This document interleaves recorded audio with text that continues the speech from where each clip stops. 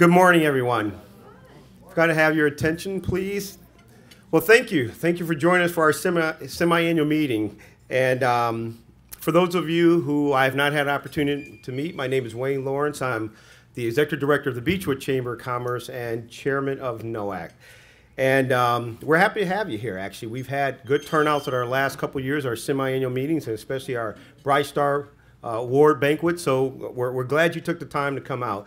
Uh, we're always thankful, thankful as chambers when our members come out. And you know, keep in mind, NOACC was was created by chambers for chambers. So you're our customer. You know, you're our members, and, and we value your input.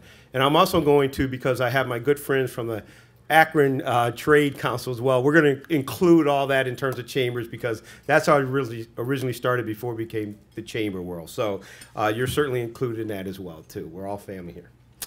Uh, I'd like to thank Pam Cooper for setting us up uh, at the uh, Great Wolf Lodge. It's a wonderful facility. If you have an opportunity at the end of the day, please walk around. I'm sure they'd love to give you a tour. It's a beautiful facility here, and and um, you know throughout the course of the year. Uh, a lot of things open up in this area, and Great Wolf Lodge, I believe, was the very first location yeah. opened up here. So uh, they've done they've done a nice job, and and they treat us very well. And we thank them for that. And Pam, thank you for saying. Where is Pam? I'm looking around. Oh, there she is. Thank you very much. And if you could if you could join me in just giving her a warm thank you, I'd appreciate it.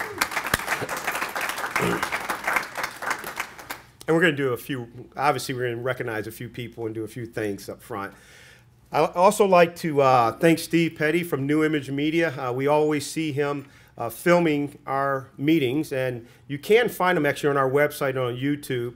And they're really informative. I mean, if for some reason there's something you, you, you felt you heard something, you just kind of want to recapture, figure out what it was, or go back to it, you can certainly go back to the tape. So thank you, Steve, for all the generous donated time you give us in terms of taping these. We really appreciate it.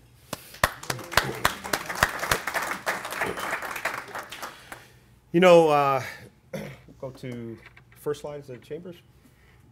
There are actually over 25 chambers who are representing us, representing um, NOACC today.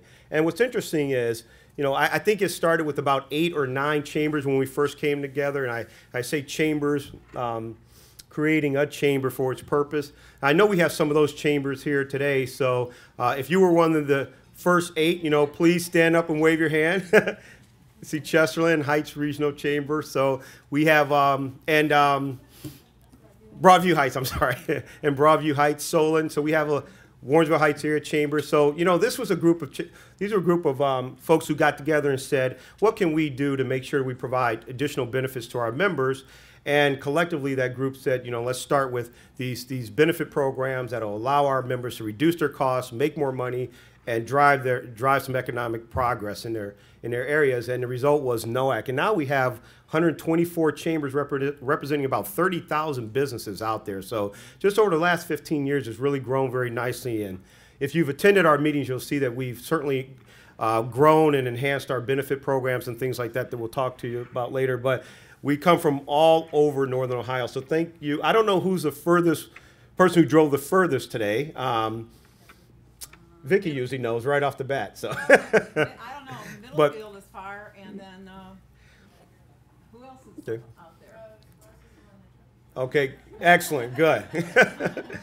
now with the price of gas going up, and I'm not sure the twenty-five dollar gift card covers it anymore, but that's uh, it used to. But uh, I, I just like to say I'd like to take a moment to really thank um, uh, University Hospitals CompCare for generously donating $25 gift cards. I mean, a lot of our chambers, I don't know if you get reimbursed for gas or not, a lot do not, are not unable to do that. So, you know, every little bit helps, and we thank you for your generosity in terms of those gift cards. And believe me, everyone appreciates.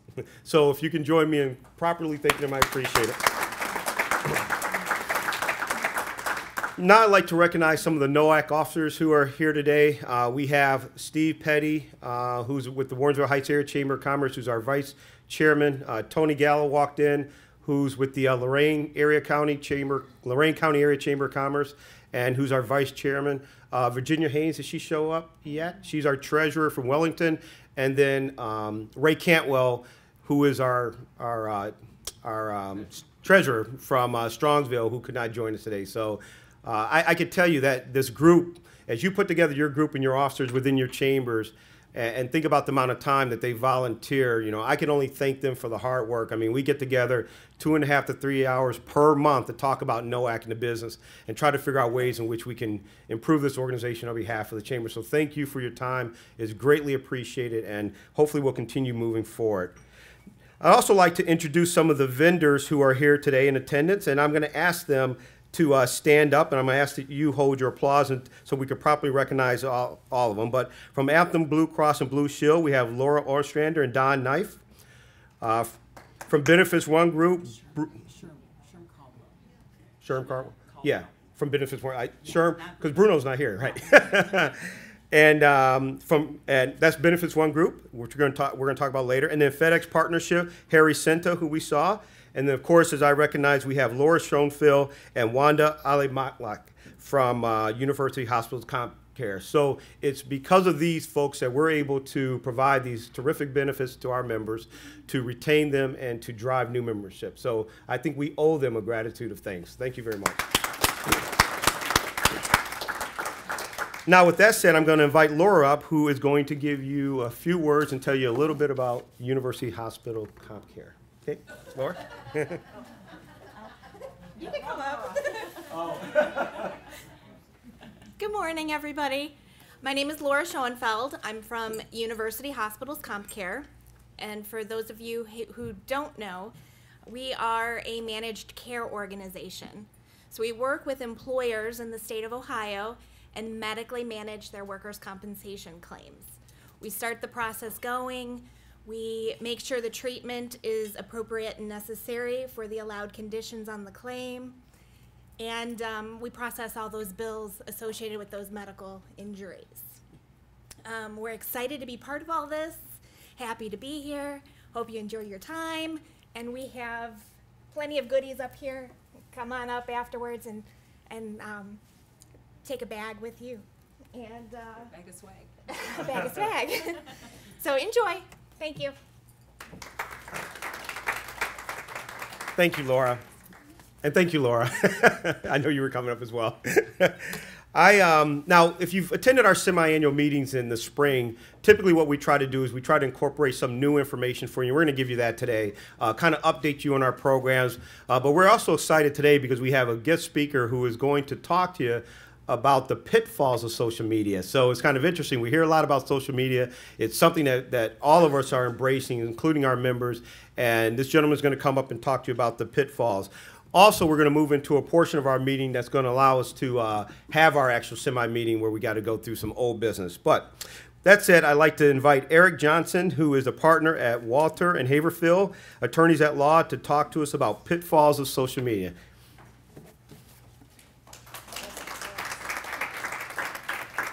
Social media has been great for attorneys' businesses, particularly in the labor and employment field. Um, I also do quite a bit of education law. And social media right now is, I would say, literally two to three times per week.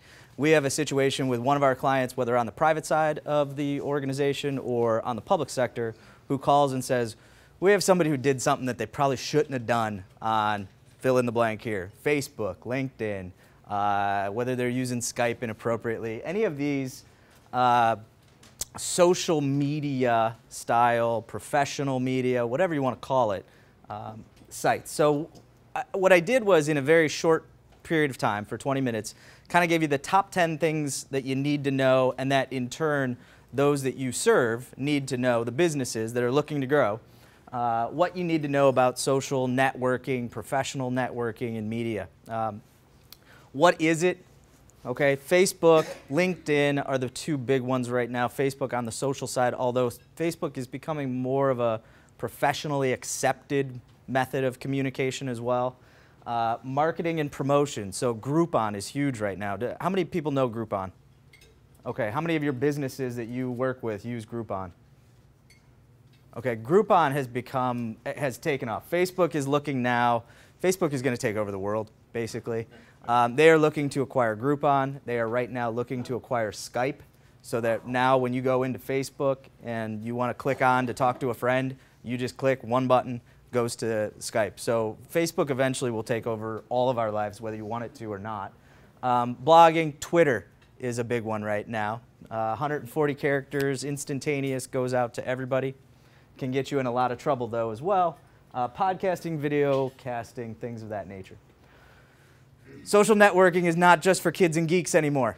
Okay, this is uh, a situation where, as you'll see, Facebook now over 120 million users between 25 and 64. This is going up by the day. It has become, Facebook has become the number one site in the world. It has taken over Google, okay, just recently in the past few months. LinkedIn, uh, over 80 million professionals, and as you'll see here, an important part 91% of the fastest growing privately held companies incorporate social media, social networking in some way into their business plan going forward. This is where everybody gets in trouble. Postings don't go anywhere. So when you post things, you have to be very diligent about thinking in advance, as our fathers and mothers told us. Think about what you're going to say before you say it because there are consequences. That applies in much more uh, really emphasis to putting things out on the web because, you know, I may say in, in I'm walking down the hallway, man, that was really dumb of so and so to do that. Well, I put that out on the web. Now there's no tone to it. Uh, it can come back and bite me. It also perhaps just went to all of my friends who then can see through their friends that I put this out there. It can get you in trouble.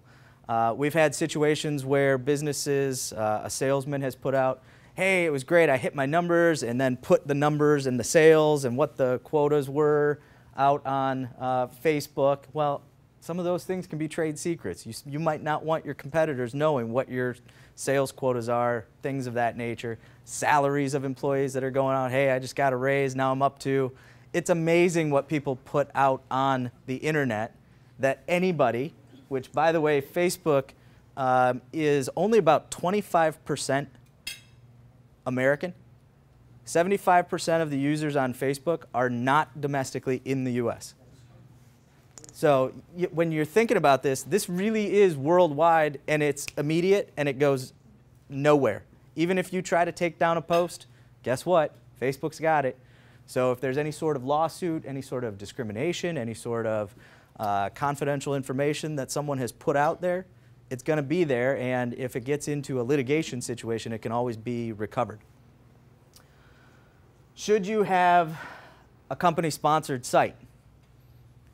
it's an individual decision. I think it's a good thing to do um, if it's well managed. You know, Facebook, LinkedIn, any of the social professional networking sites are excellent tools, but they also come with no training.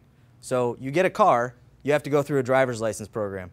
You get a site, there's no training. So any of these things uh, where you're putting things out, putting information out there, there's no real, unless you seek it out, and there are starting to be, you know, how to do this the proper way style. But you know, anybody who is 13 or declares themselves to be 13 on Facebook can start a Facebook page. Which how many of you know kids who are under 13 that have Facebook page? Exactly. Um, referrals on LinkedIn. So as you're looking at referring, uh, you know, you may say we've had we had a case that we just had to go through court on, uh, which is a very expensive process, as most of you probably know uh, where there was a salesperson who was terminated for poor performance. Well, that salesperson came back and solicited a recommendation through LinkedIn, and it said, the, the supervisor says, wonderful person, great attendance, a good salesperson. Well, guess what? That person sues and says, well, how could you terminate me for performance? My supervisor wrote this. And you know that's Exhibit A, if you will, that gets blown up on big screen in the courtroom for people to see and say, well, all right, what's going on here? Something, something else is behind this. Um, bear that in mind. Harassment charges, things of that nature. Uh, there is this. I'm going to use "cute" as an odd verb or an odd uh, adjective here, but textual harassment. If you've heard this term develop, it's kind of corny, but it's absolutely true. Is in, in that right now we get a lot of cases coming into our law firm where it's either email, but more so texts now, uh, Facebook postings that say, I was being harassed by an employee, even if it's outside of work. So you have to make sure that you're regulating and that you talk to your businesses about regulating the employees and, and what's being said on these sites. Uh, as we said here, there are certain, you, you do have certain ability to monitor posts. And obviously this is going to be strengthened by, you know, typically businesses right now have an acceptable use policy that talks about what not to use email for and things of that nature. You need to make sure that you're rolling in this social media component and that the businesses that you work with are rolling in the social media component to say, we have the right to look at certain things. And A, you shouldn't do these things. And B, if you do, we can take discipline after we go in and see what you're doing, okay? That's the, really, I'm jumping ahead to slide 10, but uh, the biggest thing that you should talk to your businesses that you work with is making sure you understand there are issues here and getting a policy in place that addresses it from both a business angle as well as monitoring and dealing with your employees. You do have to be very careful about um, going in and just accessing without making sure that they understand you can do these things. There were a number of businesses that asked applicants to give over their Facebook passwords so that they could go through and search. Probably not a good thing. Um, you know, and this is always one of those, I have a lot of businesses that say, well, should we be proactively going out and looking at these things? Probably not. I think you get into the be careful what you wish for, you just might get it. But when it comes to you, then you're going to have to deal with it, and that's when you're going to have to have the policy to deal with it. Friending coworkers is a big one. Uh, you know, the boss, and do you really want to see what the boss is doing, or does the boss really want to see what you're doing on the weekend, and then does it have an impact back into the workplace? Um, again, I talked. I represent a number of school districts. Teachers or school employees friending kids. We deal a lot with these issues. Um, here's an important one, especially on the private side with the businesses that you work with. There is this little commission called the Federal Trade Commission that gets a little antagonistic when you are advertising in inappropriate ways. And they came out with last year in the rise of social media guidelines that state if you are going to be on social media advertising or even saying, hey, uh, Walter and Haverfield is just a great place, good attorneys, great work product, cost effective. P.S. I work there. um, you have to disclaim that you are involved with the entity. So there is a very, and I cut out the visual aids here, but there's a great slide, and if you want to go online and look at it, uh, there was a, an engineer at Honda who went through this litany of Facebook pages talking about how wonderful the new products are at Honda, and then you see someone else call him out and say, aren't you a product engineer at Honda? And that's a lot of what got um, a number of companies in trouble is that they weren't specifically saying, we work here and here's what we think of the product. Okay, so with your businesses, again, it, it, they're focusing usually on the larger businesses with this, but they do have, um, they can come into the smaller businesses as well. Huge misconception. Free speech does not apply in the private sector okay? Free speech only applies in the public sector. When it comes to if you need to deal with employees or others who are posting to your sites. So you may have a chamber site uh, in which somebody posts and says, you know what, everybody at the chamber doesn't know what they're doing. Not that anybody would do this. everybody at the chamber is misguided, they don't know what they're doing. You know what, you have much more in the way of rights to regulate that discussion than if, for example, a public school district or a city opens up their Facebook page and says, we're going to allow comments to come on. Then you have to take the good with the bad to a certain extent, unless it's hate speech, unless it's profane, and there are other ways to regulate. But if you and your private businesses that you work with uh, want to start a Facebook page, you have much more in the way of rights to regulate what gets posted or taken down from those sites. This is a huge one right now. Uh, the National Labor Relations Board, which, by the way, does not just deal with unions, it deals with all private sector uh, employers. Uh, after a certain threshold, you got to have about 10 employees. This is where you're hearing a lot of the buzz right now. There was an ambulance company in Connecticut that really started it, but it's really starting to roll out. When employees are saying things on social media about the company, Okay, let me give you two, two quick examples. My supervisor is a moron. my supervisor doesn't get what he's doing and continues to um, waste all of our collective time by following principles that he shouldn't follow. Two very different comments, okay? What the National Labor Relations Board will say is that first one, my supervisor's a moron, is not protected speech. The second one gets a lot closer to are you taking or making statements that are in the, as the phrase is called, mutual aid and protection of other employees. So even in a non union setting, there are certain rights, and this is private sector employees, so this is kind of the caveat to no free speech. If they are making statements that are for the mutual aid and protection of others, it can't just be, get into a bunch of nuances here. It can't just be, I'm looking out for me. It has to be, I'm looking out for a group of employees, group two or more. So uh, you can have and you can get yourself in trouble. Uh, and a lot of social media policies, even in the largest companies right now, are being struck down or proactively revised because they go too far on this piece and don't allow uh, the, the employees to talk about certain things that would be along the lines of wages, work conditions, et cetera, out in the public. Okay? A lot of your businesses, I, I, because it's being recorded, I won't ask. How many of you Google and uh, go onto LinkedIn as soon as you get an applicant that might come across your desk? Um, but it happens a lot. Um, percentages are very high, even of those who admit that they're doing it. I think the other ones do it and just don't say it. Um, but with, you know, this has become an informal background check process. The only problem is it can create a number of issues that you otherwise wouldn't have had. Let's say you would just see my resume and somebody else's resume, and out of pocket you say, eh, I don't like Johnson's resume. Eh, you know, don't like it. Uh, I went to Car- you know, I went to Duke. You went to Carolina. You throw it away. Um, then you see the other person.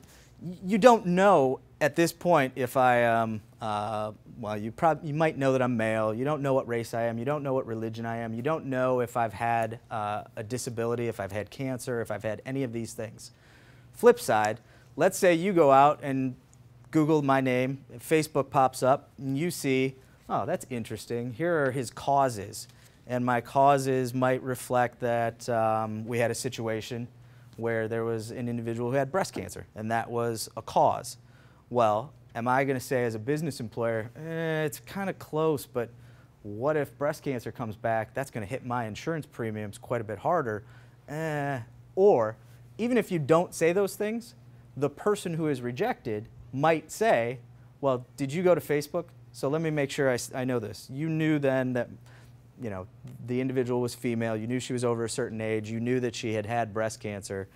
So isn't that really why you didn't hire her? I mean, looking at the resumes, they're really close. So isn't that why you really decided not to hire that person? Well, now you have knowledge of those things where before you could say it had nothing to do with it. I didn't even know that. Not knowing it was always a very good defense when you're faced with these kind of claims. But now, because you've seen it, you don't have the ability to say, I didn't know it, which means it likely goes further along in the litigation process. So it, you know, there are some good things that can come out of doing the background searches. I'm going to put it in quotes, but you need to do it the right way. And if you're going to do it, you should probably do it for all employees and be consistent about it. And a lot of companies are even developing policies on that issue as well. Employee off duty conduct. There are some states that say whatever employees do on their own time, New York, Kentucky are two of them, uh, you cannot take any action based on uh, if it, so long as it's legal. So in Kentucky, um, you know, whether it's smoking, whether it's uh, whatever it may be, smoking's a big one in Kentucky. Um, you can't do anything that would be in the employment setting disciplinary against them for doing something legal off their off duty. In Ohio, that is not the case. So if there is an impact to your business, uh, especially on the private side, public side's a little bit different, but especially on the private side, if there's an impact to your business because of what somebody's doing off duty that then hurts your reputation, you have certain rights to then discipline that person. Here's a key one that a lot of people don't think about LinkedIn, Facebook, and especially in the private sector. Uh, making sure that your confidential information is protected. Um, along the same lines as that salesman that I talked about, there was a regional manager who did a, a very similar thing in retail and said, here are, you know, really the monthly goals that we have, and we met them all. And it, you know, person's obviously very happy that they met them all. Uh, corporate was not too pleased that that went out because now competitors see, oh, well, now I see where they're tracking in that particular market because obviously it identifies the person down to what city they're in. This was a national chain. What city they're in, what market they're in, what mall they're in, and now you can see exactly what that, and that's what typically leads to, uh-oh, we need a policy. Because this was early on in the life cycle of social media, and this company didn't have a policy to say, hey, you probably shouldn't do these things. And one of the tenets of employee discipline is you should probably put them on notice not to do things. Now, there are some things, there are some things that people should just know not to do, punching supervisors, things of that nature. Although even that now is in handbooks, you know, don't hit your supervisor. Um, controlling the flow of pictures, information. We had another situation where uh, there was a, a, plant manager who was very proud of the reconfiguration of uh, the production area. Takes pictures, puts them on Facebook. Well, you might not want the reconfiguration of your, your plant, that area, going out worldwide uh, because frankly, that was everything that they had done to protect it as a trade secret, the layout, the production mechanism. And legally, up until that point, if anybody tried to get that, we would have a great defense. You just blew everything out of the water by putting it out online. You sacrificed any confidential information claim that you had. And then you get into, you know, medical records, you get into all of these privacy issues with um, individuals and coworkers putting out other, you know, pictures of other coworkers. You know, the obvious one is guy takes a picture of the other guy at the urinal, which yes, we've dealt with that. We have very mature employees still to this day. Um, and they come out of very sophisticated clients too. This isn't just, you know, uh, backroom production kind of stuff. This is, it's amazing what still to this day happens. Um, you have that, but then you also have the more sensitive information. Uh, and sometimes employees don't want you to put out. We had a claim uh, from an employee who was upset that someone put him on the prayer list at church because they didn't want people to know that so and so was fighting a certain ailment. Similar, put it out on Facebook to say, please pray for so and so. Well, that can come back to bite you too. It's, it's amazing now putting these things out. And again, back to the earlier slides, they don't go anywhere. They hit everybody instantaneously. It's amazing how powerful this can be, and it can be great for your business. But at the same time, you've got to mitigate the risk because it could be equally detrimental to your business. And then just to wrap it up, absolutely your businesses should be looking at policies to deal with this. Your standard acceptable use policies and the policies that talk about don't use email for bad things, uh, those are likely outdated. You need to go a little farther and address the fact that you're doing this off duty, the fact that you might be remote, the fact that you have certain rights, and you have to make clear not to do those certain things like disclose information about the company, uh, send out pictures of coworkers, employee, you know, the employees, uh, say certain things about management while still protecting and not falling into an issue with the uh, NLRB, uh, NLRB regulations. So that's where we are. You have time for questions? I do? Excellent. I felt like the little guy from, if you remember Micro Machines, the guy that used to talk about the cars and just go, okay, never mind. Anybody? 10 back up? Sure. Yes. when you were talking about the plant and they put a picture up that showed and gave like the mm -hmm. trade secret aren't many of the Facebook sites or LinkedIn like a site, so the only people who could access it are people that you allow? And does that make a difference? It can make a minor difference, but you know, there's also the, you put it out there, you know that one of the risks is that it gets hacked. So by you putting it out there, uh, there is a little bit of a mitigation of, well, we put it out there and it was protected. Okay, well, if it's protected, is it protected from, uh, let's say you have an employee whose kid is a friend of that employee. Well, can the kid see it? So you get into a lot of issues that you probably don't want to run the risk of then losing a trade secret that is, you know, 98% of a number of companies' entire business is what they have intellectual property wise. So. And then kind of going on that, if Yeah. you um, partake in Facebook in a personal level, do you suggest that it's always protected and closed, that you never have an open Uh, uh, yes. I mean, I, I will tell you that um, unfortunately, even legal things, so things that you're doing off, off duty, can come back to bite you. And uh, I'll tell you, a lot of it happens in the public sector with teachers. So you, we've had to deal with situations where you've got pictures from college that you might not have even posted. That's the thing about Facebook is you don't post these pictures, somebody else posts these pictures, but you're sitting there, um, let's just say you're at Halloween OU wearing your, uh, wearing your costume, and you're sitting there with uh, marijuana in your hand. Well, it, that's going to be a problem for a lot of parents who now you're put in front of, particularly as a younger teacher, and they're saying, wait a minute, I don't know if this is such the, and this could be five, ten years ago. I don't know if this is the role model that we want. Um, we've had to deal with a lot of those situations where you have these pictures that, again, weren't even posted by you that can come back to bite you. And I think on a personal level, what you need to do, and we were having this discussion a little earlier, even with your professional sites, you need to make sure that you're staying up on them. One of the things that um, we see a lot is great to start it up, but there's a lot of work that goes up to maintaining it the right way.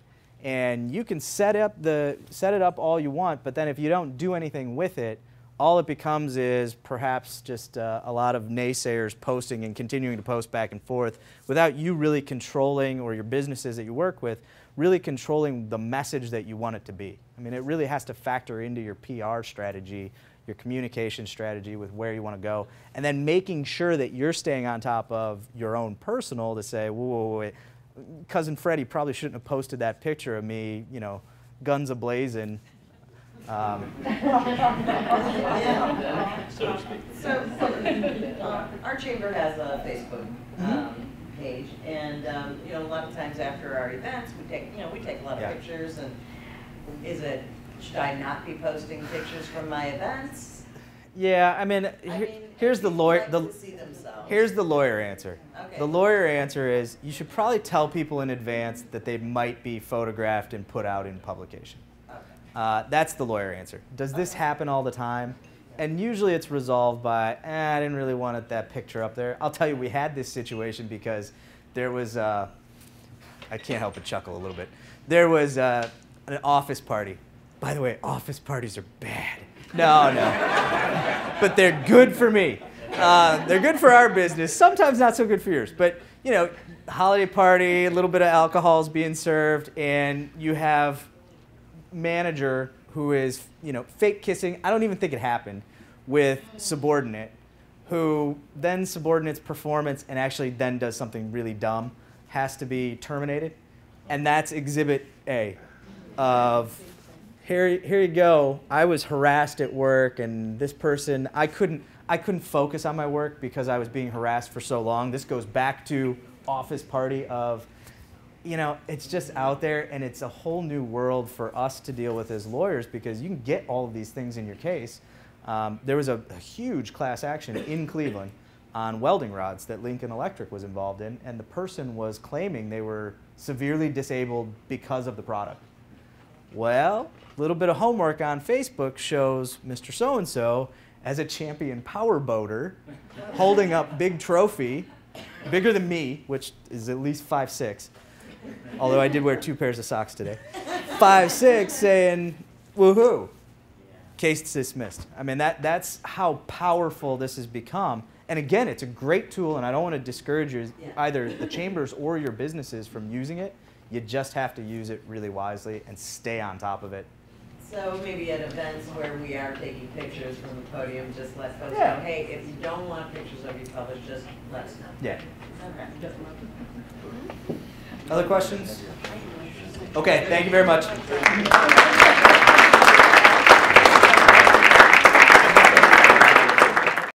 We're going to continue with our, um, with our meeting today. Um, we do have a short business uh, meeting that we have to cover for just our semi-annual business that we have. Uh, every chamber rep received a green folder with the minutes and also the uh, financial statements. They're also posted on the website too. they will be posted on the website. uh, take a moment to, to, look at the minutes. For those of you who were there, uh, to make sure that we didn't miss anything, there's no additions, deletions. And after you've had a chance to review it, if I can, I'd like to accept a motion to approve the minutes as presented to you. Do we have a second? Okay. All those in favor, please signify by saying aye. Is there anyone opposed? Any abstentions? Thank you. We'll submit the minutes as accepted there. Uh, you also have the treasurer's, treasurer's report for 2010 year end. If there are no questions, and please take a moment, we're not going to push you through this. If there's no questions, we will submit the report and file for audit. That's our process. Do I have any questions? If you do, please, uh, you know, feel free to. Vicky gets questions from me all the time and, and officers, so it is an open book. So if you ever have any questions, it's uh, it's our money. So just like we uh, manage as good stewards of our chamber's funds too. So, okay, we'll submit those for audit. Okay, now I'd like to um, invite our executive director, the wonderful Vicky Hawke, to come up here and give you some updates in terms of our vendor program, website, and some things we're doing. Vicky, please join us up here. Thank you. Oh, that's okay. Hold down the applause. Oh. I know why you're all here today because your invitation to the wedding got lost in the mail like mine did, right? no, we really do appreciate you coming. You actually probably chose to come here instead of the wedding, so we, we were glad for that. Um, again, I, I'm going to keep my, my, um, my message brief, and I am going to read a lot of this because I tend to ramble a lot. You know, you guys know me, I talk a lot, so I want to make sure I, I hit the spots that I want to hit. Um, as always, information is all on our website, noacc.org, and which, by the way, we had to remind you that it is a new website right now. So uh, there's lots of great new features. Uh, we're adding more as we go along. I didn't make a big announcement. We, we did talk about it last fall, but please go there, visit often, because uh, Chambers ask me all the time for an ad for Anthem or some marketing information or an article they want to put in their newsletter. It's all there. So please go visit that. And the other, um, the real big aspect of the uh, website that I'd really like to build up on, and you need to build up on, is your testimonials. If you're not getting testimonials, I hear great stories all the time from people. Don't always write them down. I don't always remember to go back and get them, but try to do that. Try to get a testimonial. We had a great testimonial. Patty, Brian, do you want to tell everybody what happened the other day with uh, one of your guys? I was at. Um, Stand up so we can hear okay. you.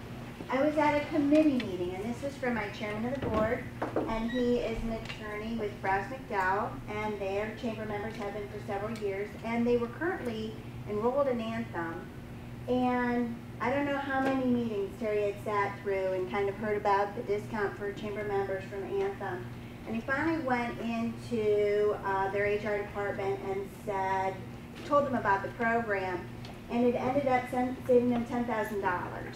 And uh, you know, again, they they didn't have to do really anything other than prove their chamber membership.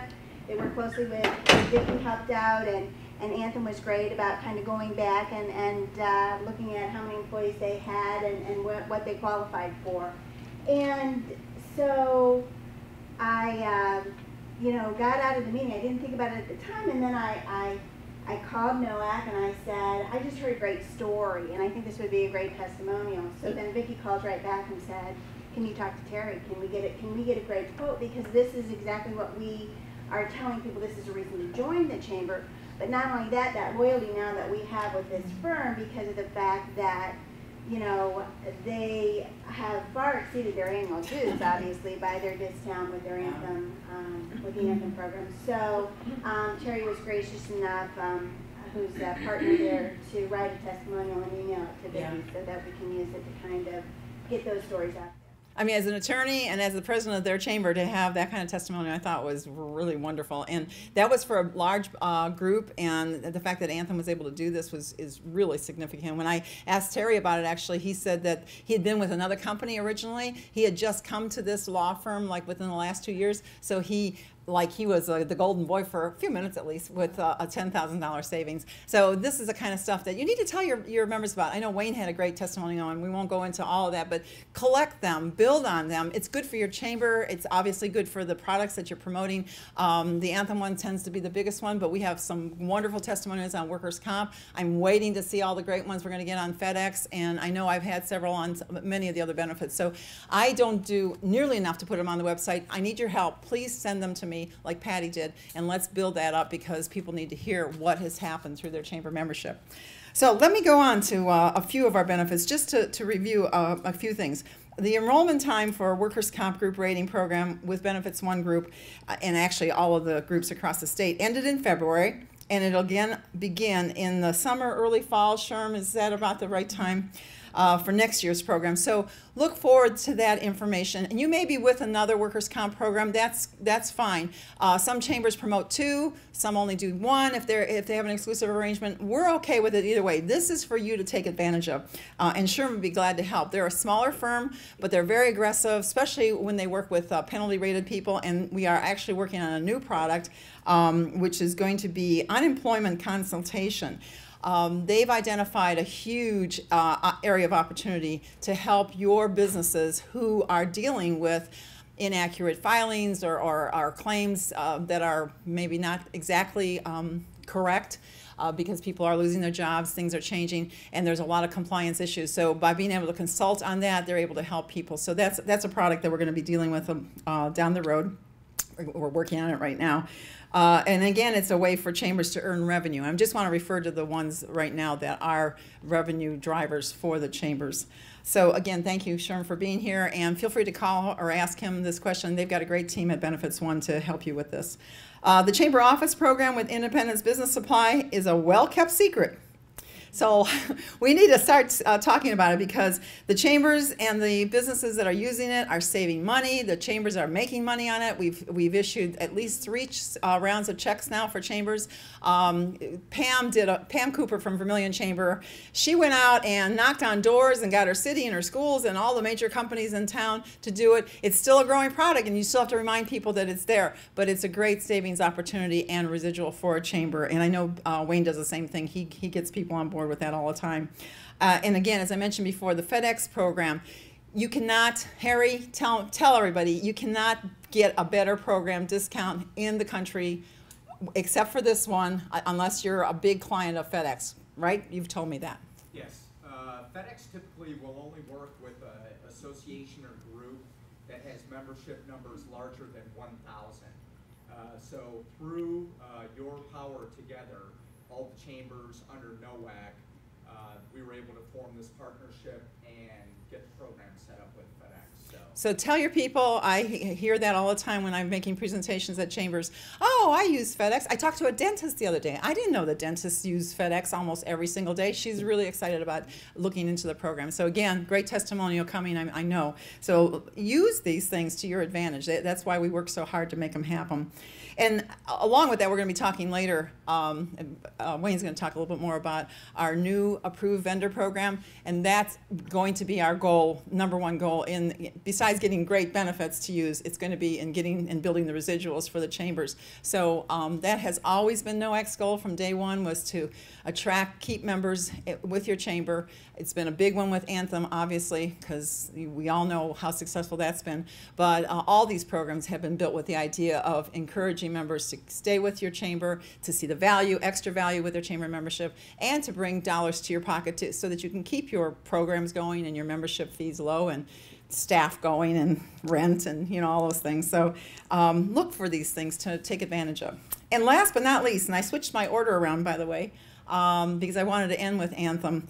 The uh, we, we've just been um, completing the Anthem Chamber Marketing for 2011. In fact, I meant to send an email out yesterday and I had computer issues, so I have to remind everybody that this was the weekend to get it in. Now, we're, we're not going to hold the deadline so that, you know, I'm not going to slap anybody's hands. The goal was to get this in. We do have to get it in, though, for um, the programs and events that uh, are coming up because if you want Anthem to be at one of your events, it's tough. We have to get their schedule, and, and they, they're very busy people, too. But we want to make sure that you're having this, these opportunities. And we're, t- we're actually allocating. The officers sat down and looked at the budget and took a deep breath and they said, let's allocate more money to give back to the chamber since our goal is to get more money back to the chamber. So we've actually increased the kitty to $75,000 this year. Potentially, they could go back to the chambers who ask and get to this money through their efforts in, in marketing. So they have to submit the plan. The plan is due this weekend, but um, $75,000 to help you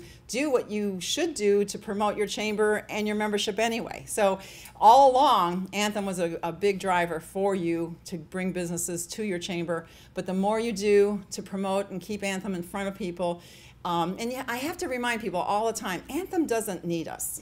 We love them and we love this relationship, but it was developed because it was a great partnership for you and for them. They don't need us though. They do give this discount. They love us too, right, Laura and Don?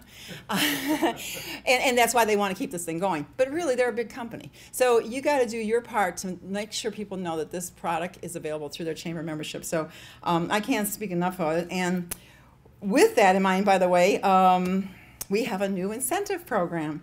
And uh, now I'd like to have Laura come up because we have details in your program, in your folder rather, on this newest program, which is going to be the Anthem Contest.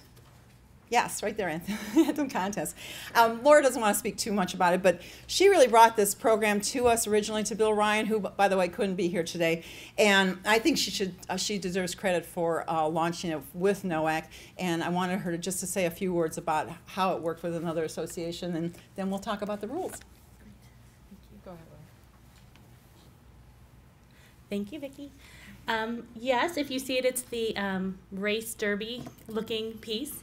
I'm not sure if anyone's Kentucky Derby fans, but um, we did a similar program, a contest for SOCA, the Southern Ohio Chambers of Commerce.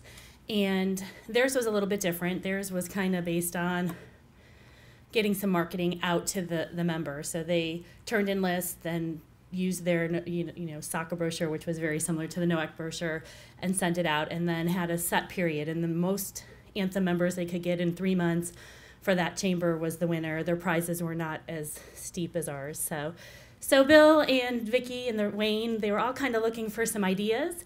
And if it was up to me, I would say we should do a contest for the most creative marketing piece because I'm a marketing person. So when the plans come in every year, I'd say, oh, that's a pretty cool idea. I like that.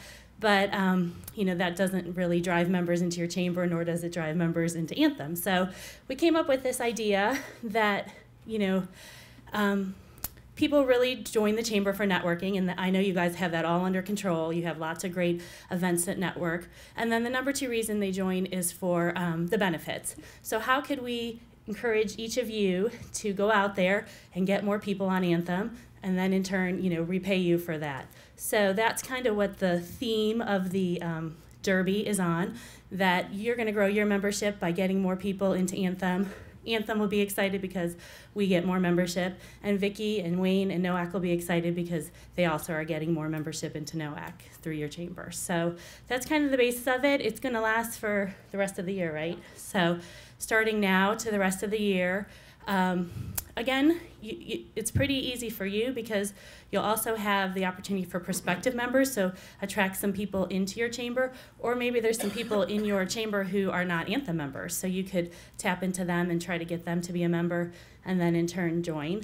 Um, Don wanted me to remind everybody that if you are in a chamber and you take Anthem, you get a 3% discount off street rates up to 50 plus a 1% um, tax credit. So it's a 4% discount for groups 50 and below. Now, if you have a group 51 to 500, they still qualify for the 1%, which could be a lot of savings. Like Patty was saying, if your company is 100 and they get 1% off their premium, that's a big savings to, to them. So, um, you know, a lot of people aren't sure about that 1%, so I just wanted to remind everybody about that.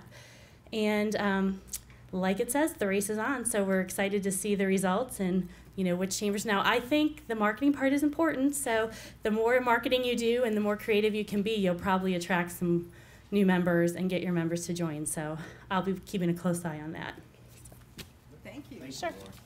I, yes, thank you. Please, thank her.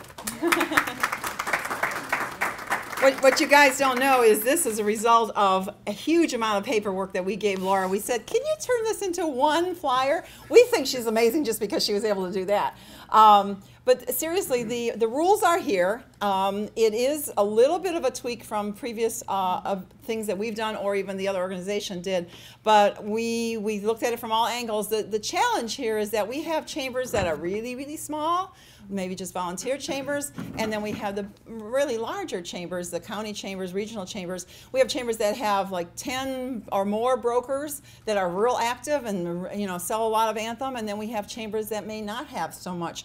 So it's it was a challenge. The officers all represented different size chambers, and you know they threw their things into this, like what if this, what if that. So we're doing the best we can to mitigate all of those things, so that a small chamber can compete with a large chamber. It's going to be done by percentage. You have to trust us here because it's there's percentages and calculations that we're working on, and then there'll be probably some ties. I can just see it happening now, where we have a couple of chambers that fit into one or more of these categories, and we'll just have to split the money. But that's okay because the more money that gets out there, the better. So um, the goal here is the contest is actually started. It's already begun, April 1st. Um, we, and we had to do that because it, it builds this whole month as we go forward and we as we go through the end of the year, which will be December 31st. We won't know who actually wins the contest until the spring of next year. But this gives you plenty of time to, to build on this, to, to have conversations with your brokers, bring them in, buy them lunch, give them breakfast, um, have them uh, be working with you to build on this. Uh, between both your current members and your prospective members, Anthem will be keeping a list, so we'll know. It, it will not um, be based on your existing Anthem contracts. We had to cut the line somewhere. This is strictly going to be on new contracts. So um, the chambers participate, first of all, by submitting their list, which we will then scrub, clean, and use as kind of a lead list. And then you get paid $100 just for submitting your list. So even if you get nothing else out of this, just for submitting your list, you get 100 bucks. We thought that was a, a great entryway. And then the second level on this is if you get five applications, again, we know if those applications are coming into the Anthem office, they all go through a, you know, a central place, then you get an, another $100. So just for participating and having five new contracts, you can get $200 as easy as that. And then you'd be surprised um, how some of these other things were going to fall into place. So uh, it, again, all the information is here, and plus we'll be sending more out to you. And I again refer you back to the website. And I have to ask Laura is going to have to be giving us more ads and more information because I know chambers uh, are going to want to put that stuff into your newsletter and be as active as you can with it. Yes, Rose. I have a question. Are these new to Anthem or new to our chamber? New to Anthem. Well, they could be both, but new to Anthem is what we're talking about. New part you're talking about is a new Anthem. Right. Yeah, this is not necessarily, they could be a new member. Like I said, they could be an existing member or a, a prospective new member. But um, they, this is about Anthem contracts. And if they were previously Anthem and then they aren't anymore and they come back, is there any like time, like, because I know some of our people may have been at one time and then left and now could be coming back. Yeah, I don't think we care, right, Laura? I mean, we, we can't go back to, as long as they're not just with Anthem right now, you know. They could have been with Anthem years ago because people switch all the time, so, yeah.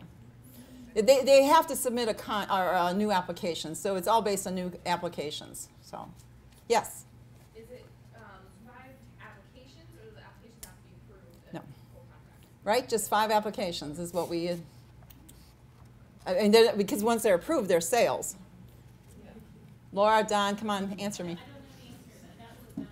Well, I think we were talking about applications, because they have to be valid applications, somebody, because you're not gonna go through the trouble of, a broker's not gonna go through the trouble of taking an application, submitting it to Anthem, unless it's a viable one. They don't have to buy, they just have to be an application. Five groups, yes, I'm sorry, five, five separate businesses, not five contracts with one business. It's five separate groups. Yes, that I know. Um, Is there anything else I wanted to point out in there? Everything is really here. I don't want to take too much of your time now. Uh, again, it's just something um, that should help you, and please take advantage of it. Not every chamber is going to participate, and that makes the odds better for you if you do participate. So I, I just urge you to do that. And Wayne, did you want to talk about it? Yeah, I'm gonna make it. Thanks. We are, um, two years ago, we gave out twenty-four thousand dollars to chambers. Last year, we gave out fifty thousand dollars to chambers. This year, we're gonna give seventy-five thousand dollars or more to chambers.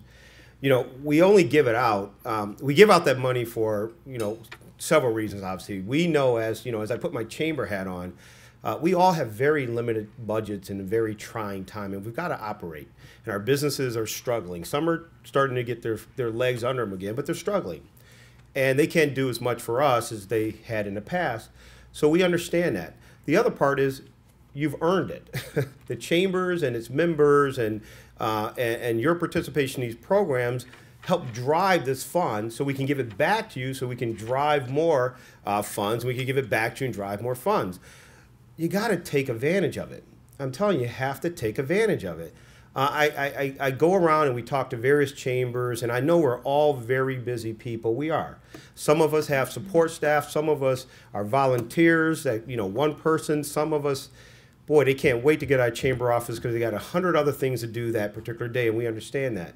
So what we're trying to do is we're trying to put together programs that are very easy for you to execute and take advantage of what's out there because you know we have strong relationships uh, or partners with our partners and um, you know it, it, it- but but we have to we have to work we have to go and we have to support the programs and if we do support the programs collectively we all win then we have the 75,000 100 or 125,000 down the road to have towards these programs and here's an example of what we've been doing you know to just creatively figure out how can we go out there and help our chambers so I'd encourage all of you to participate. When we think about Anthem and we think about these benefit programs, any one of them, but certainly Anthem is a driver. I think last year, Laura, we, we had on our, um, you know, when we did our questionnaire to everyone, the members, 97% of our membership um, felt that that benefit was critically important to them, very important to them, et cetera. So let's take advantage of it. It can help us grow our memberships. Um, yes. Yeah, you're going to get. That's a very good question. There's going to be a lot of um, new information, um, creative marketing stuff, and tools that'll help you grow this program. The reason I mentioned that this program is easy is because by submitting by submitting your list, you're saying we're committed to even participating in this contest, and we're going to send you hundred dollars. And then if you get the five new application, group applications, that means that, well, we're really committed to it. So we're going to send you another $100. And then you enter into this contest to win, and you saw the earnings. Uh, if you add them up, it's a lot of money. But even if you don't win there, where you're going to win is for every new contract you get, you're going to continue building that fund that we pay out for you every year, in a sense. So you guys are now submitting, we are all submitting our marketing plans for the year, and that money is based on your contracts and increases, net, a lot of different formulas. And we try to make that so that every single type of chamber can benefit. Small chambers, that you know are looking to increase double the amount of contracts they have and even larger chambers like us where we may have a significant amount of anthem business but you know um, you know even a small percentage would help us increase so this is what it's designed for so please take advantage of that and all the programs we have out there because uh, I know, uh, thank you, Patty, for that testimonial because I, I tell you, there's a lot more out there with every single one of these programs. Uh, I know just even with the Independent Business Supply Program, we use them as a chamber and we know we've tracked a 22% savings versus the previous year we weren't using them. So we use them. Now, I'm just going to, and I know this isn't right for every chamber, but I know with our chamber, uh, we're very committed to the NOACC programs to the point where, how many of you on a constant basis get that phone call from that business who says, I want to offer member to member benefits, or I want you to approve me and endorse me. How many times do you hear that word endorse out to our members? A lot of you get that. I know we get it all the time. And then the next day, you get a call from their competitor. Can you endorse me? And so you have maybe you have maybe five or six companies within one industry looking for the chamber to endorse them as the best or as as a member to member benefit, et cetera. What we've chosen to do is say, hey, listen, we understand, we, we value your membership, et cetera, and that member to member benefit programs are, are good. When we talk about endorsement, when we're talking about taking our, telling our members you ought to get some value out of this program, we've turned strictly to the NOACC programs. And we've said that NOACC is going through a thorough due, and I'm going to lead into our next part, which is our vendors. NOACC is going through the time and effort to go through a thorough endorsement program to bring in partners. And once they do that, then they feel that this offers that allows us to offer a great savings opportunity to our member. So what we've created now is, as we talked about last year, one of the things we mentioned where we were going to have kind of three categories within NOACC. Some may remember that. We have exclusive partnership, of course, with Anthem. We have our preferred vendors, which are those who are currently under contract, and you heard about them today, Benefits One Group, Independent Business Supply, some other ones. And then approved vendor program. And a lot of people said, well, what's that? And we tried to explain it. Well, now we have it. The approved vendor program is an opportunity for your members, any one of your members, to go through the NOACC process to become an approved vendor in a very formal way.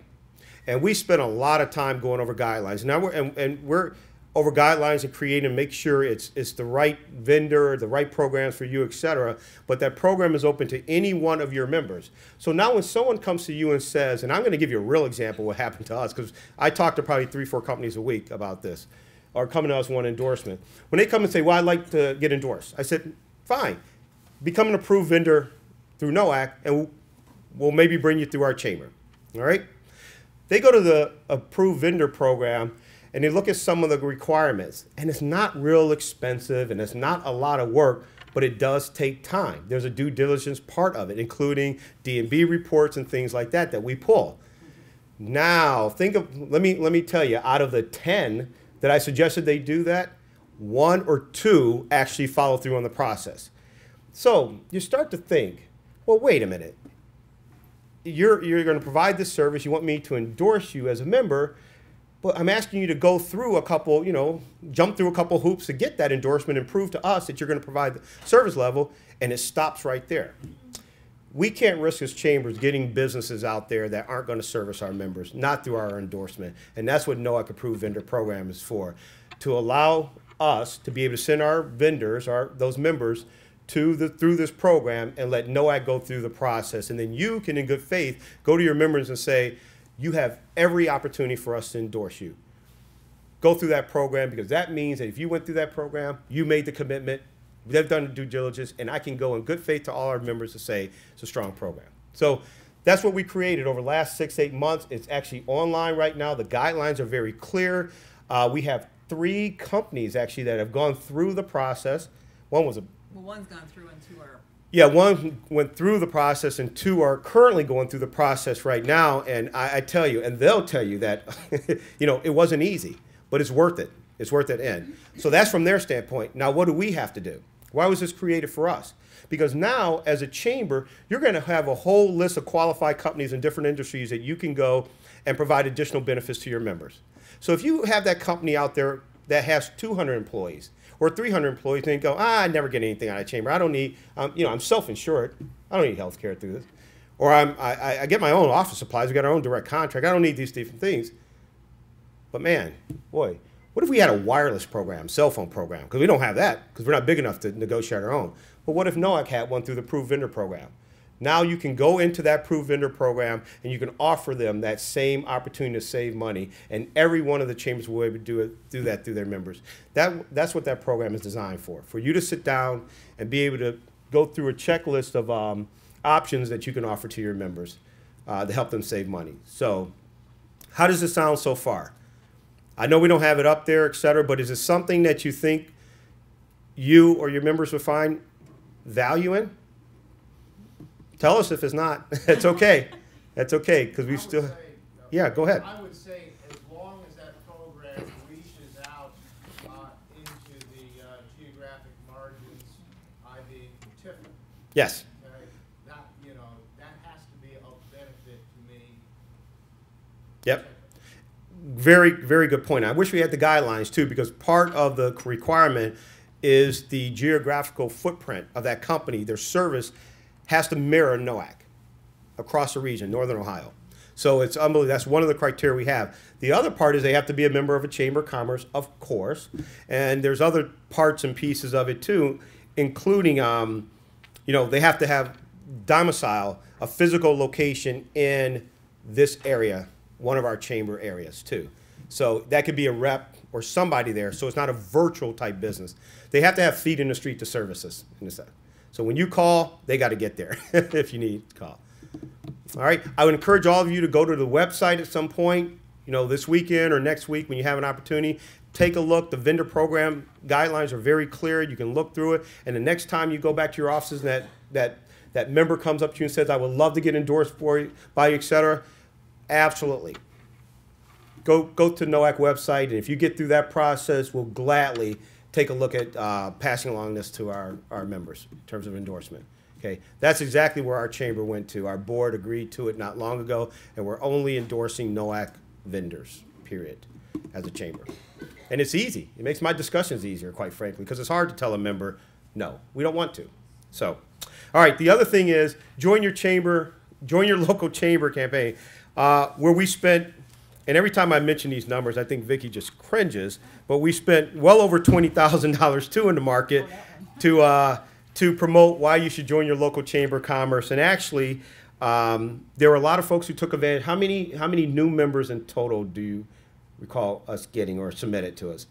Because by now you should have submitted the new members that you had back to NOACC so you can get your the books and referral fees. Do you, we Well, know the total number? We have certificates, we have certificates to hand out Okay. for referred members of Right. around, it was right around 60, 65, but how many are on the, Margie, I'm looking at Margie, if, if she finished the list, because all the members that, you know, came through, it was over 100, over 150, remember?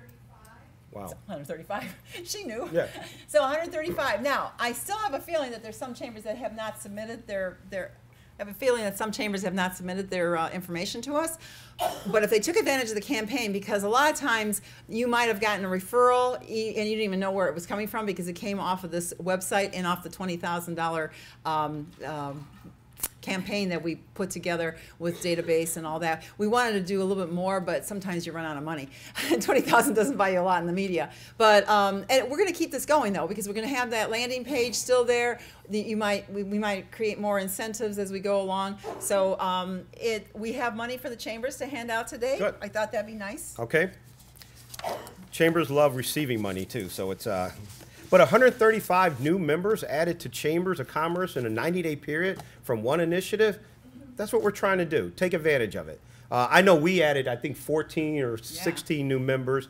Uh, you know, we actually tied it into our own. We went to our membership committee and said, "We have this campaign. Let's run a campaign within the campaign." So try to take advantage of the money that NOACC's spending at your own chambers and uh, you know drive it. So today Well, we're passing yeah, out. yep. And also, um, and all that ad and all the information is still available uh, online. Um, so it's generic. You can always use this ad. It, the ad looks like the um, poster that's on the back table there. The, with the, it, it looks like our website. It has a young lady at the top. Uh, we're creating. In fact, I was hoping to have a sign here today. But uh, you can always use that anytime. It's very generic. Just join your chamber of commerce because it, mentions the anthem and mentions networking and it mentions uh, the value that you get out of your chamber. So with that, how about if we bring some people down for some money? Rose Pasternak from Chesterland Chamber, here's your money. Briefly, let me show you. We also we created certificates. We're sending the certificates to the chamber so they can actually hand it out to their members. And there's no money exchanged in here because we're going to pay you right now. See? Look at that. That's the way you do business. So um, basically, you use those certificates, as we told you before. Um, your member gets to use that at one of your events, or what, however you want to use it. It's up to you because you already got the money. Thank you very much. You're welcome. Patty Ryan from the Lakewood Chamber. Come on down, get your money. I think you had four members, so um, we've got your check in here. Again, your certificates. Yeah, these were for the referrals, yes. How many members? 13 members. 13 members, Good. good for you. Uh, and all of those members are going to be receiving the marketing um, without money book and the uh, half month, half year subscription to um, CBC magazine. Um, m- Hey, Vicky, I'm sorry. uh, Wayne came out to our January meeting and kind of helped promote it, because we kind of did a membership tie-in too. Yeah, that's that was right. really Another great way to kick this off. Yeah, I, and I know I did it with the Aurora Chamber, and they they actually did a membership campaign right at their luncheon that day, and then I was there, so they must have gotten like eight members just from that particular luncheon. It was really huge. Uh, the next one is Middlefield Chamber. Is Nick here from Middlefield? Okay, he, first it was one, well, we'll have to send it to them. We're, we're gonna send it to any chamber that's not here. Uh, John Sobolewski, North Coast Chamber. What did you end up with?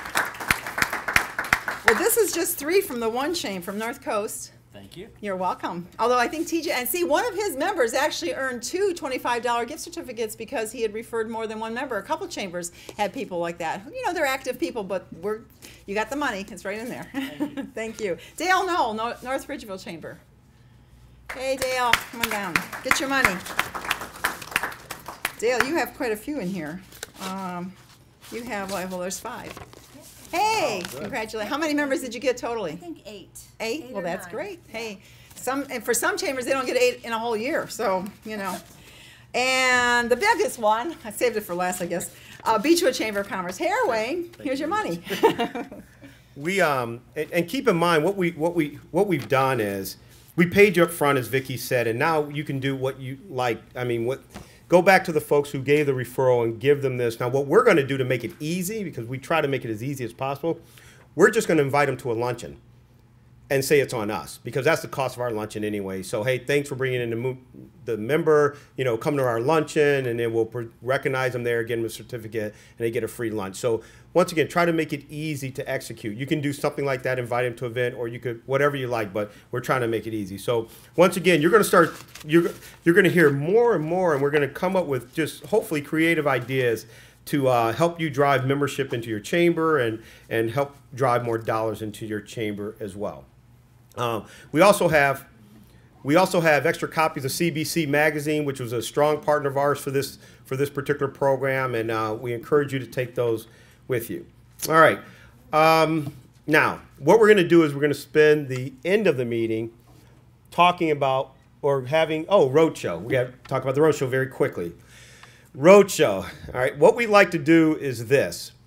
Once again, as Patty mentioned, I had an opportunity to go out to her chamber and talk, and we had a lot of things. We want to have a fun event. We want to, and we don't know if we're going to get an actual big bus like John Madden and have it go out on the road, but we want to go on the road to various locations throughout northern Ohio and really um, talk about why members should take advantage of NOACC programs and why companies sh- should join their local chamber of commerce. And we actually have a marketing company who's helping us put this together so that we can do it in a fun way. We need your help, we need your ideas, and we need you to volunteer in your area if you can. So help us put this together. So we would drive and come to your area, and you could turn it into an event. So if you have four or five chambers in an area like we do, we could turn it into one big event in which we invite all of our members here, have them bring a buddy, and we can do a lot of fun things. We're going to do a cookout, all those things, all through NOACC to help you drive membership into your chamber. So uh, we're going to be soliciting ideas from you if you have any. We got. I know we have some very creative people here because chamber people are creative. We we try to figure out different ways to add value every day. So um, if you have any ideas, please share them with us, and we're going to be putting this together because we'd like to be on the road as early as mid-May. So we're going to put this together very quickly, but it might not be till June. Because and we're going to have, I think, four four locations right in the region. We're going to try to hit Well, close to that, right? That's what we were thinking of, but Okay. it could change if we had more opportunities and more people wanted to be involved. Yeah. So if you want to be involved and you like us to come out and you like to have a big fun party with your members, take advantage of it. We're putting these things out there. Just take advantage of it. All right. Um, okay. Last thing we want to do is we're going to have chamber idea sharing. I'm going to have Vicky talk to you about what that is. Oh, he did such a great job last year. I thought he would do it. Uh, no, actually, um, I was out surfing the web the other day and looking for ideas to market your your chamber and nonprofit organizations. I don't know how many seminars you've been to, but I've been to a ton of them. And yet, we come home with a lot of ideas. I go to CCEO, I, I share ideas with other chambers, and yet you come home and sometimes you just don't do some of those things that you know you should do. Time runs out. So when I went searching, I found this great list, and I have to apologize to them ahead of time. I called them, but they haven't called me back. The Ashland Chamber of Commerce had a great little list on, and it's in your packet, I've lost mine now, but it's a hundred mark, quick marketing tips. Oh, thanks, it looks like this. And I started looking through this, and I thought, oh my gosh, how many chambers have not applied these kind of techniques to their own business of being a chamber. Um, so I, anyway, I called the Ashland Chamber to ask them if it was okay if I shared it with them. I thought, well, it's online. They haven't called me back. I'm, I'm pretty sure they're going to be okay with you guys having it. I still want to get their permission to share. So that, well, We'll get your card, Eric, just in case. yeah, we'll get to Eric's card. I'm wrong about that sometimes. Well, it's on the web.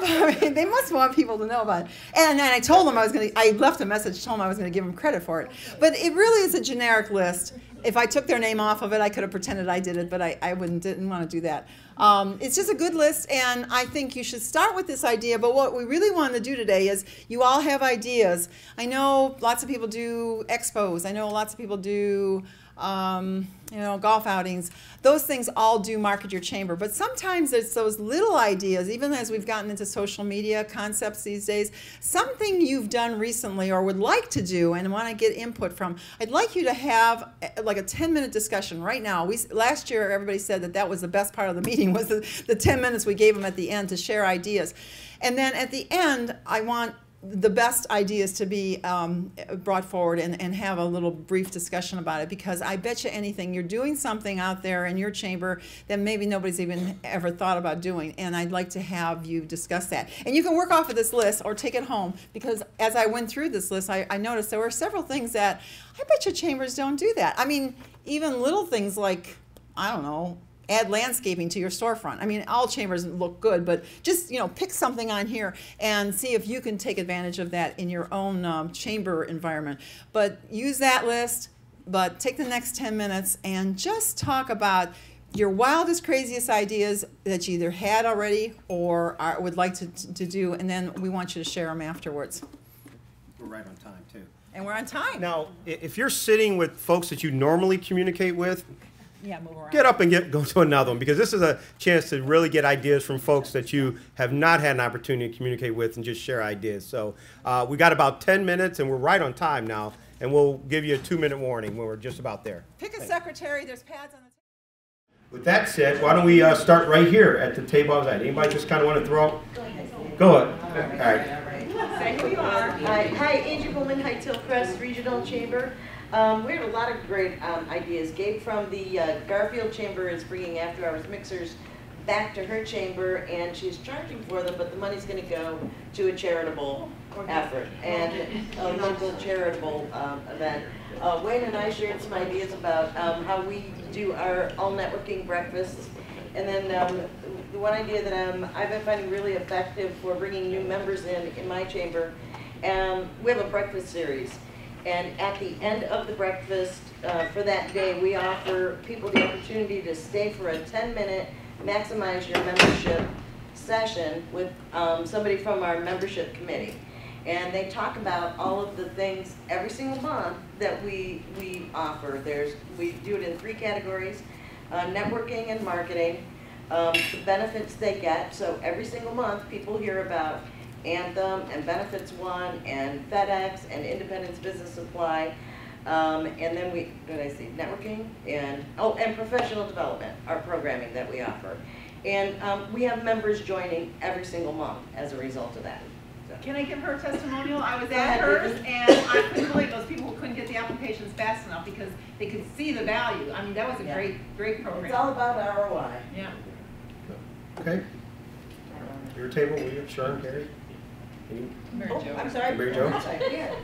Mary Jo Buckner, the Ottawa Area Chamber. Um, Dale here has had, or Judy first, um, she talked about that they had put on a mayoral debate and, uh, invited the council candidates and, and, uh, they brought in two hundred and fifty people. She had her table in the middle of the room and she said, well, how many, a lot of people picked up applications and it was invited, the public was invited, I assume. Totally. And, uh, so they had a good crowd come in for this and they sent out a lot of applications with those and brought in about eight new members that day.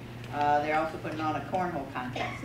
And it's kind of a fun thing. And there's free bears. This is ludicrous, but it brings in people and it gets their name out. Uh, Dale put on a Disney Institute, uh, and that did very well for them and, and uh, they're still using that money. Also, also she talks about the city magazine that they send out about every eighteen months that they're, uh, that talks about the village and the chamber. I mean, the chamber just putting this out, it's sent out to all the businesses and residents in the area.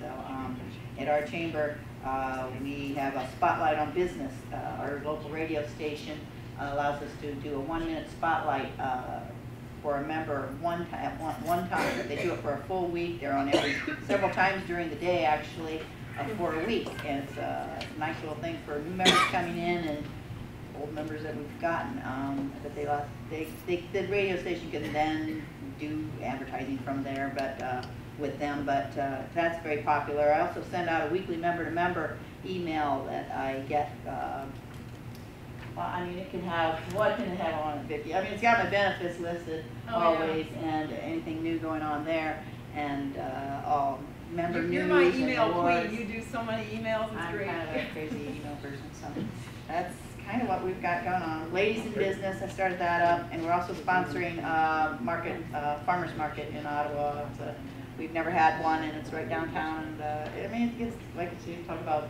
buzz about your name, and that, uh, we're getting our name out there a lot, we're doing that kind of thing. Great, thank you for sharing. We'll go to the back table. Um, Anyone at the back table like to share one or two ideas? Ahead. All right, I'm Rose? nominated, I guess. Um, Rose Pasternak from the Chesterland Chamber. We had the first, uh, item we had was actually come, came from a southern chamber and Laura brought it and she said that at one of the events that they, or at all their events, they bring a cardboard cutout of a man and they call him Chamber Chuck. And each time he's at an event, he's got a different sign on and says, ask me about Anthem. And the next time it might say, ask me about Independence Business Supply or so, and, and it, he's become the highlight of these, their chamber events, because where, where's Chuck? Where's, you know, they wanna know where Chamber Chuck is, so I thought that was a great idea. And then Lauren has a, we'll give Chuck a minute to talk about. Oh, yeah, you know, at, at their meetings, yeah. Chuck will have a minute to talk today to you about this, and so they get up and Chuck will give his little speech. Um, and then Sheila was talking at her chamber that she puts out on their hanging sign by the street, which gets a lot of traffic, a member of the week, and it highlights one of their members. And their local newspaper also, um, puts that on their, um, masthead every week too, for them too, so that's a great idea too, it just gives, uh, some publicity to their membership.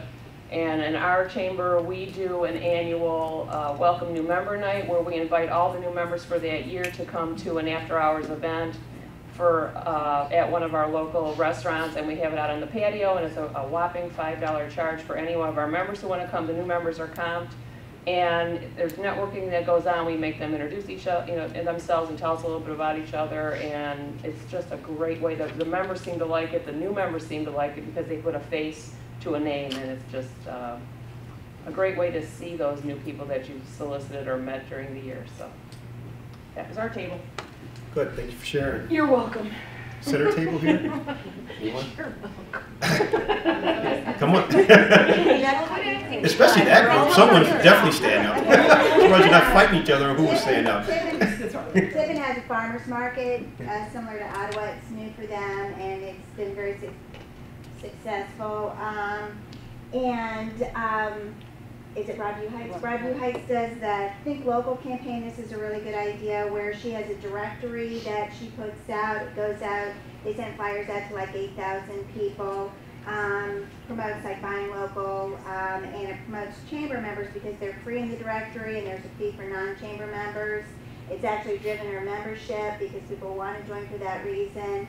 And uh, there's also uh, like a buying contest where residents can go out and get several, I don't know, how many did you say, how many stores did they have to go to? Um, I can't remember how many stores, but. You know, get like, you know, checked give out a for a punch thing, and then they can come by the chamber uh, office and enter their completed form and- for a drawing for an iPad.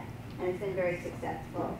Um, let's see, um, uh, Port Clinton did the wishing well, right? You guys heard the wishing well? Um, and it is, uh, kind of in, uh, conjunction with their Main Street program downtown and, uh, similar where you, uh, have to spend five dollars, and this kind of ties in how much you have to spend at that location, not just drop in and get your, your thing. You have to spend five dollars in different, uh, locations over a period of time, and then you brought your completed punch card into the chamber and you were given a chamber gift certificate. And they had a sponsor um, underwrite the cost of it, and so they were able to cover the cost of all those um, um, gift certificates. Again, it promotes uh, buying local, and for them, they do it at Christmas time because they're a tourist community and kind of offsets um, the slower months. Um, let's see. Um, oh, uh, the Lakewood Chamber, we do um, a buy local online auction, and um, we um, uh, we call it R and D, uh, rip off and duplicate from Future Heights. Did one on the east side. Ours is much smaller, but it works for us because we try to we were trying to find something in avoiding an event and the time consumption and the spending the money of an event. So this is online, and basically um, we go through a company called Bidding for Good that hosts nonprofit uh, auction sites at a low cost, and it's kind of all inclusive. Um, somebody has to donate an item of $25 or more, and they get listed on the auction site with a link to their website with their logo. And uh, it is publicized on the radio and, and local newspapers. Uh, you know, flyers go out, and everybody's encouraged to stay home, click here to buy local.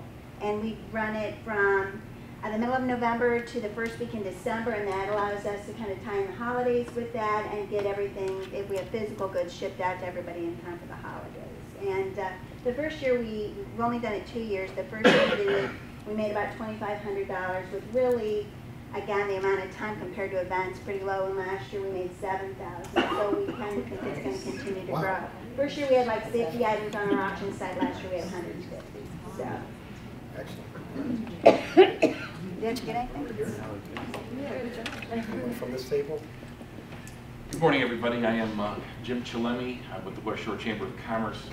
Um, John Sobolewski, our executive director. We are actually part of uh, four chambers because of him, and uh, this is actually his brainchild, and it's it's brilliant. It's called Power of More.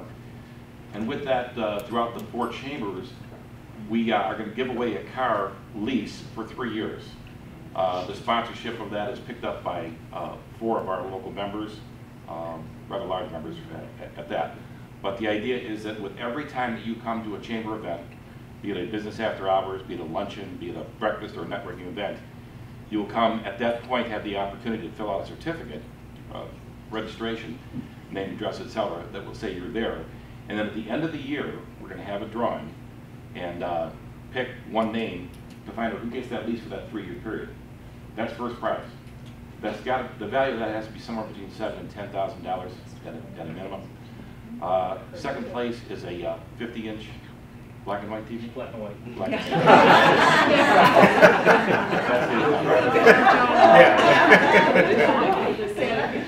Third place. Uh, Third place, uh, third place is an iPad. So we held our first event for this uh, two nights ago over at Famous Dave's Barbecue, North Olmsted, with Famous Ashley. And I think we had, what, 150 people? 150 people there for that.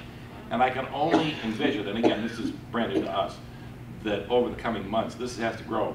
And that last month is going to be a barnstormer.